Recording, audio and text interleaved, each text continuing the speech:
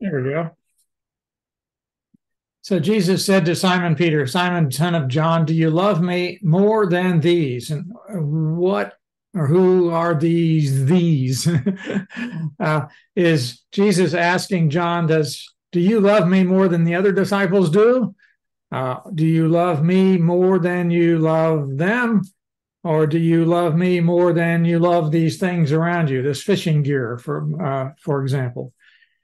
The Greek the Greek grammar is ambiguous. It could mean any of those. Uh, so uh, different commentators will take it different directions, and some will say, well, you know, it can mean all of those depending on the reader. The point is, is still the same that our love for Jesus needs to be above everything else uh, well, you can't really compare our, you know, directly compare our, you know, our love with somebody else's love for Jesus, uh, but we can compare our love with uh, our love for things, for example. Uh, that, yeah, the point, and the point is, yeah, that we should be uh, loving Him more. So Peter replies, Yes, Lord, he said, You know that I love you. And uh, some commentators point out, or uh, probably, uh, I don't know, maybe all of them do, that a couple of different Greek words are involved there. Uh, when Jesus asks, Do you love me? he uses the word agapao, uh, or from the noun ver- uh, version of that is agape. And so we're kind of familiar with that word. And Peter replies, You know that I love you, that he uses the word phileo, uh, which is refers to a like a family love. That's where uh, we can see that in the city name Philadelphia, which means uh, brotherly love, uh, love for brothers. And uh, is there uh, a big big distinction here? Well, earlier in the Gospel of John, uh, John has used these terms interchangeably. So it's difficult for us to say that, well, here he is intending to make a distinction when earlier he had not. He he can talk about God's phileo for us, uh, you know, God's brotherly love for us.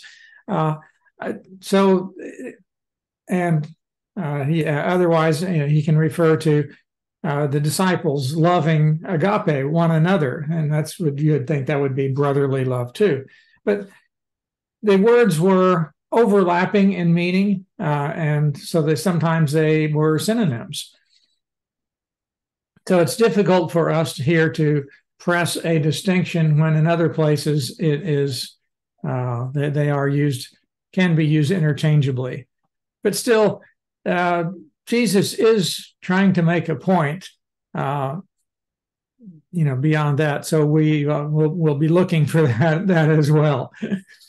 any, any, comments on those uh, the words? I don't know what you've heard from other uh, other places about uh, those. I know it's a couple of years ago, and I, Judy Mayada asked me about this particular passage, whether there's a distinction in those words for love. Any comments? Pastor Mike? Yes, yes, June. Yeah, the, the note on the Passion Translation takes, uh, what says the word love there in 15 is huba in Aramaic. Ah, going to a different uh, language, yeah. yeah. it, it means to set on fire or it's like uh, burning, burning in love or affection. Mm. So, Interesting, yeah, very, very uh, strong word then. Mm-hmm. Um, does it say, does it say that the uh, Aramaic word would be different for when Jesus said it and when when Peter said it? The translation says uh, Peter said, "You know that I have great affection for you." Ah, yeah. So, so Jesus says, "Are are you on fire for me?" Peter says, mm-hmm. "Oh, you know I have great affection." Yeah. Uh, well, interesting. Yeah, so it, I guess the idea there is that Peter's not quite comfortable saying he's totally on fire for Jesus. uh, well, part of Peter's point is there that Jesus knows, already knows how much uh, Simon Simon Peter loves him. So why is he asking? Well, I think we can see a little bit of that in a, as as we go on. Uh, and Jesus re- told Simon Peter, "Well, all right, since you love me, feed my lambs." And then, verse sixteen, the second time, Jesus says, "Simon, son of John, do you love me?" You know, uh, almost the same words, but he he leaves out the comparison more than these. Uh, that doesn't have to be repeated every time. Do you really have uh, you know an intense love for me? And, and Peter answers yes. Uh, so Peter sees that as some, uh, at least some degree of synonym there when he was able to say yes. Yes, Lord, you know that I love you. So Jesus said, Well, take care of my sheep. Here, Jesus has changed the words a little bit from feed to take care of, from lambs to sheep. But the basic meaning is, is still is you know much the same. That he's kind of commissioning Peter to take care of people in the church, uh, whether it's feeding, taking care of. Uh, oh, they're oh, that's overlapping.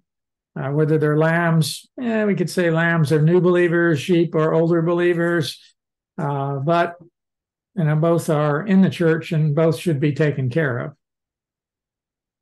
But all right, so then verse 17, the third time Jesus said to him, Simon, son of John, do you love me? Now, Peter was hurt because Jesus asked him the third time, Do you love me? So the question we might have is why would Peter be hurt? Uh, simply because it was the third time? Or was it because he's using this word for love that Peter's not quite ready to use himself? Mm, I, either way can work. Uh, I think part of the uh, what what we might see here at work here is in this uh, the the fact that it's the third time and that Peter had denied Jesus three times. Here, Jesus Peter is reaffirming his love for Jesus now three times, and Peter was hurt because that that third question reminded him the third time you know that he reminded himself of his own three time repeated failure. Uh,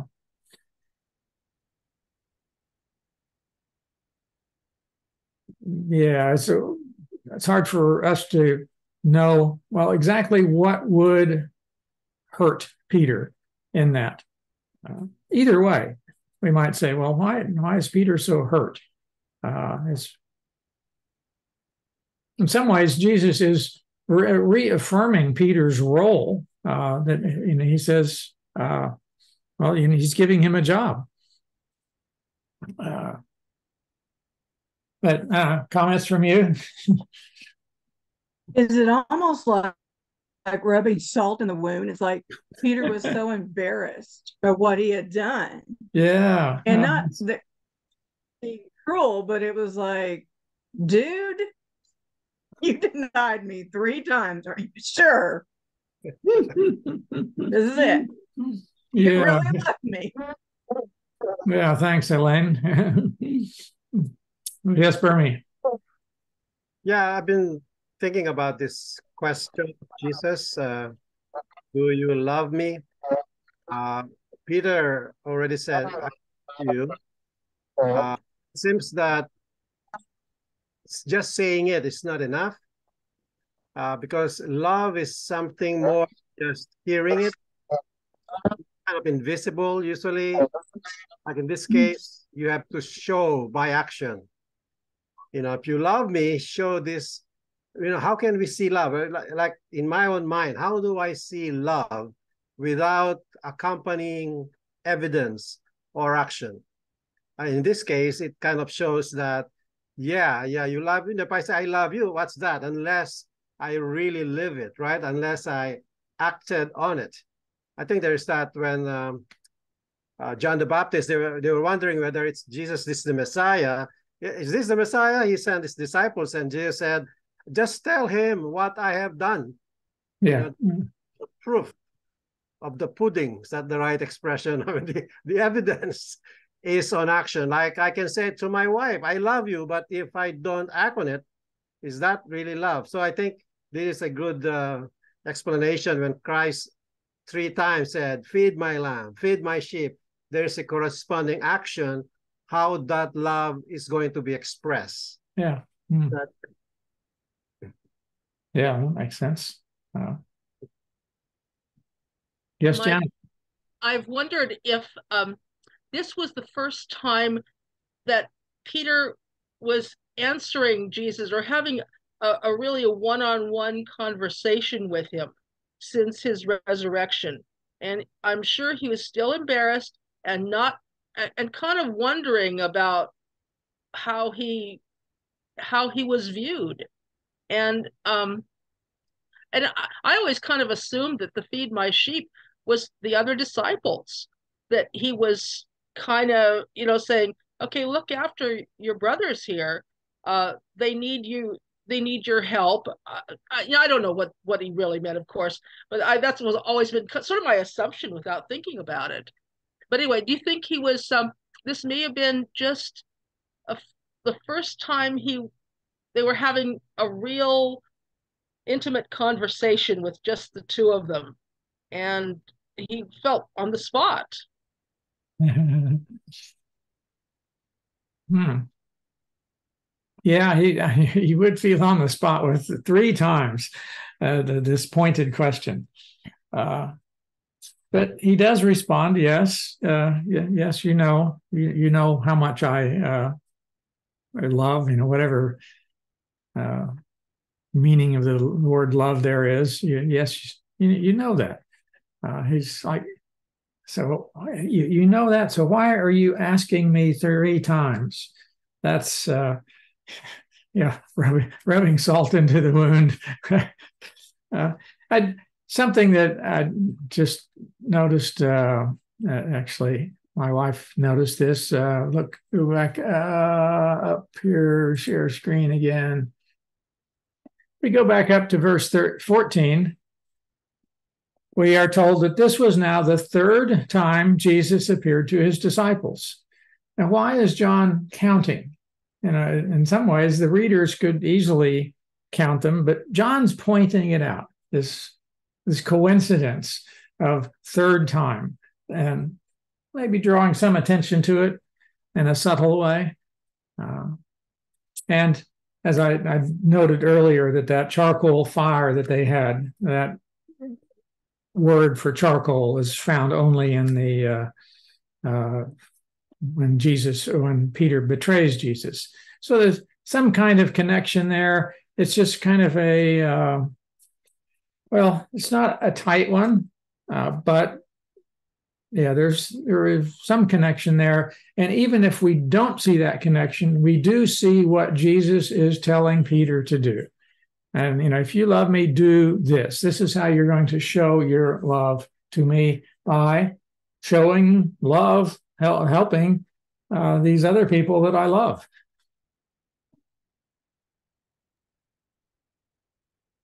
Uh, yes, Fermi.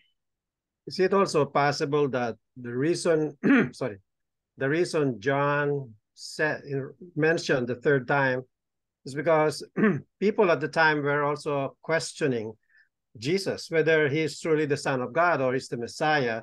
So this is the third time he appeared kind of to me, shows, hey, here's here are witnesses. Here is an evidence truly that Jesus became alive again, kind of additional proof or evidence that he is truly come, he came from the dead, you know. Yeah, uh, the different gospel accounts have several descriptions of how Jesus appeared to his disciples, and uh, and some of them are in different places. And he apparently appeared to them more more than just three times. That John does report these three, and I get, and I, I think he seems to draw not just reporting them, but also draws draws attention to it that this is the third time. It's not just uh, uh, just not just a series, but he points out that it's a series of three. But again, it's uh, yeah, it's it's not the kind of thing you can base a doctrine on. it's just something that might make it literarily more interesting to provide some kind of connections there. So, yeah, Peter's told to take care of uh, the other disciples, uh, the sheep, which would include not just the other disciples, but uh, everybody who came to faith, uh, you know, from through them, as he, as he had had uh, referred to earlier in his uh, John 17 in his prayer. He talked about those who would uh, yet to come, yet would yet believe. So that's part of Peter's commission. Uh, and that's basically the commission, not just for Peter, but for any leader in the in the church from Peter onward. It's not exclusive to him, but it's pointed out here for Peter. Verse 18, then Jesus gives a prophecy. And it's not just a it's, it's not just a simple prophecy. Hey, Peter, you're going to be crucified.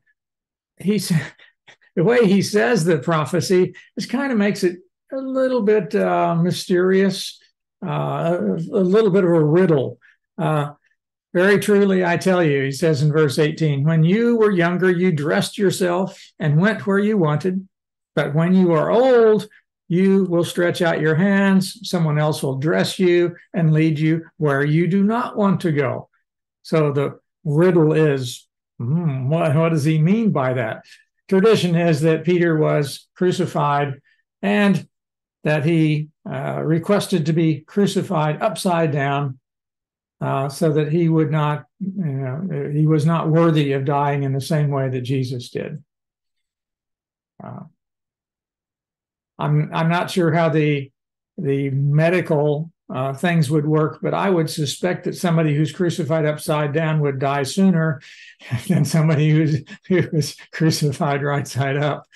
But whether that was part of part of Peter's plan or not, I don't know. But the legend says he was uh, uh, crucified upside down on an X X shaped cross. I think it's, that's if I remember that correctly.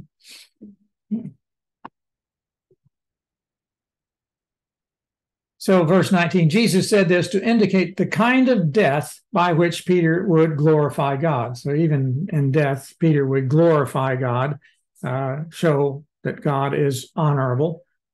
Then he said to Peter, uh, Follow me. Same words he had used, you know, three years earlier. Uh, that's like no matter how your life is going to end, whether it's difficult or not, your job is to follow me. That's kind of the summary statement for what a disciple does.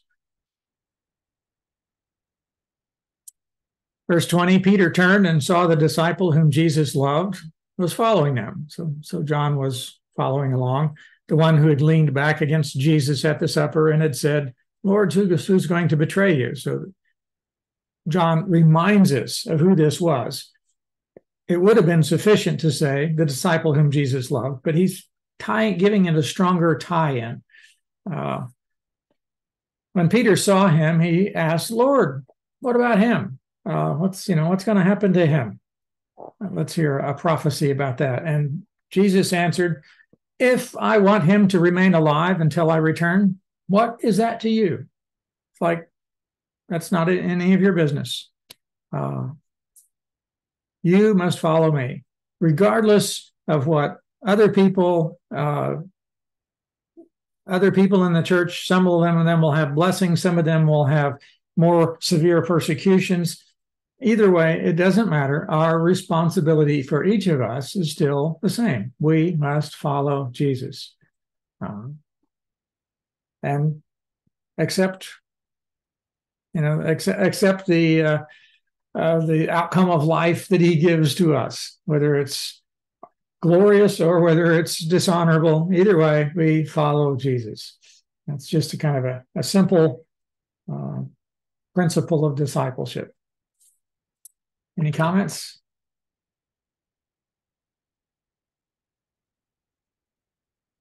All right. Now, verse 23 because of what Jesus said, the rumor spread among the believers that this disciple would not die. Now, Jesus said, If I want him to remain alive. But Jesus did not say that he would not die. He only said, If I want him to remain alive until I return, what's that to you? But here he's, he's repeating it. And it sounds like this rumor uh, was uh, still circulating at the time that John wrote, and this that's why he addresses it. They might be thinking, well, some might think, well, John's going to live uh, until the return of Christ, uh, and therefore they they might they, might be thinking that. Another scenario is that uh, that John knew he was going to die and didn't want that to uh, disturb their faith, so he puts that in here to saying, no, Jesus never promised that I would stay alive. So don't so don't let my uh, death you know bother uh, you know, cause you to lose faith. Tradition says that John did live a very long time and died a well a somewhat natural death. Uh, but we don't know whether those traditions are accurate. That's all we have to go on. But it does suggest that there was some some kind of rumor at the time uh, John was writing. Any comments? I think that's one yeah. one one reason that it is not safe to set dates. You know, in so many in the news. You know, church leaders setting dates and then it doesn't happen and people get frustrated and some leave the church. Never you know never set dates. That's a lesson. Right and, and in some ways here then jesus uh, response is applicable to those situations too. Even if you know so and so got the date wrong what is that to you follow me. Uh, our responsibility is still the same. We are to follow Jesus. And yeah, we are to follow Jesus whether the return is near or far. Uh, that does not change the way that we should follow Jesus. And we can pray that it's soon, but be ready for if it's not. uh, further questions, Sarah. Yes. Sometimes, like you wonder, like Paul saying, "I show you a mystery. We will be." When you talk about rising up, uh, Paul thought thought that he will stay alive and meet Christ, right? Um, he didn't seem to also understand that uh, Christ did not set any date but is there is, is it that important probably that we should always have a sense of urgency you know? Yeah it's we should uh, always uh, make the best use of the time that we can uh, as that's urgency. Uh, we don't we shouldn't be operating in panic mode uh, all you know it, it's just physiologically not possible for us to do that. And we don't stay up all night for five nights in a row just because we think it's oh everything's urgent. Uh, we have to be able to pace ourselves too. So yeah there is a sense of urgency but then there's also a sense of um, that we are in it for the long haul too. So we, yeah we balance those two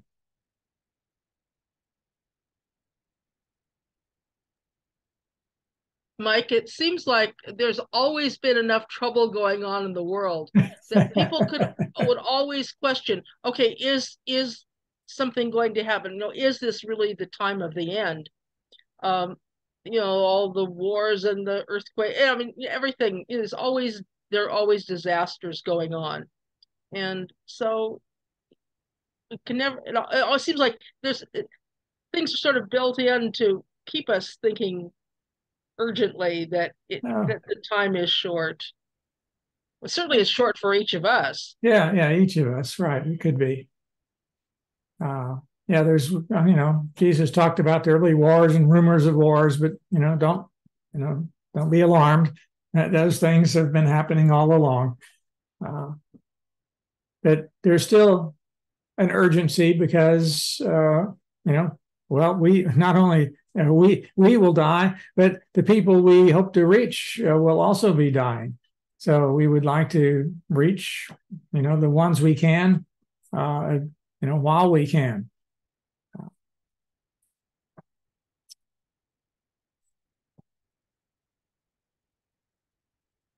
Okay. Verse 24, kind of concluding things near the end. This is the disciple, this the disciple that Jesus loved, uh, who testifies to these things and who wrote them down. And we, who who is this we? is is this uh, some editor, you know, it's kind of tacked on a comment at the end? Uh, that's possible. Some say that well, the you know the book had uh, various levels of editing, but uh, all of that is quite speculative. This could be the royal we, uh, where uh, one person writes in the uh, plural, first person plural, uh, for whatever reason, literary custom, perhaps. I, I don't know. John doesn't seem to do that elsewhere. Uh, but anyway, somebody it's it's kind of a vouching for all right, this is eyewitness testimony, so we can count on it. That's that's kind of the translation of the verse.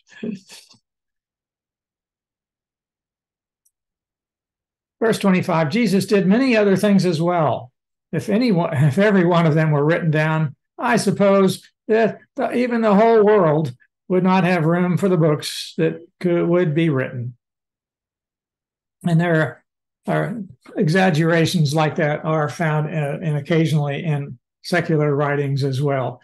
So that's uh, well, yeah. Anyway, there's the point is that there's a lot more going on there that uh, you know we can't include it in the scroll. And John didn't have time to write it. We don't have time to read it. It would it was just uh, too voluminous. Uh, he's kind of vouching for the uh, fact that well, I've just given you part of the evidence. There's lots more there too, but we don't have to. You know, what I've given you is sufficient. We don't have time to go through everything. You have to take what I have given you uh, and and use what's the, right there already. That's enough. Is it? Yes, Verme. Yes, sir. Is it possible? Um, John started with this book. In the beginning was the Word, and the Word was with God, and the Word became flesh. And this one is kind of the last portion here, saying, is, is that connected somehow? I was wondering theologically, like introduction, kind of towards conclusion about this Jesus who has been there since the beginning, before the beginning, or what? Well, yes, that's some uh, some you know documents have that kind of literary technique. The technical name is the Latin word in, inclusio, uh, but I, I don't see that here. I don't I don't see a very strong connection between this whole world and the books. I don't see a strong connection with the, the verse you quoted in the beginning. That was the word, because uh, he did. You know, he's not using the word word. Uh, maybe maybe I'm missing uh, what you're trying to say there. Uh, yeah, other then it must be just uh, a figure of speech. The the term even the whole world the kind of hyperbolic. Oh yeah, yeah. I I I think that's a, a bit of a figure of speech, an exaggeration, uh, but and literally it would probably be true uh, that if we tried to describe in even if if we tried to put into words uh, even a a movie of, you know, a two hour long movie, how long would it take for us to describe all the details that we would see in that movie, whether the cloth was blue or whether there was uh, stitching uh, along the edge and those kind of details? We could uh, go into, uh, yeah, details just bury we could bury the thing in details and uh, so in some ways any uh, any life any person's life could uh, wouldn't have you know you you wouldn't be able to write enough books for to describe any person's life in every detail uh, but of course jesus is has much more important things in his life than we do in ours but you know, John is still pointing that hey, you know, that's. But I, yeah, I think he's saying, you know, there's lots of evidence uh, that what we have, what I've given you, is is should be enough.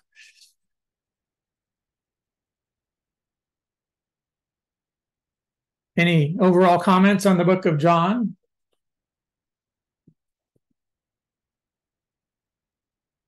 Thank you. It's great study. Are you glad the end has come? I would just like to say it's been wonderful to have no actual study guide. I've had a lot of study guide Bibles studies over the years, but this is probably one of the first times that um, we've just read through the scriptures and talked about it. Uh, it's really been a blessing. Oh. Thank you. now, now the rest the rest of the session this evening will the study guide. I know. I'm sorry. well, well, we can do it both ways. well, we'll we'll see. Yeah, that's uh, right. No no pre planned questions going on there.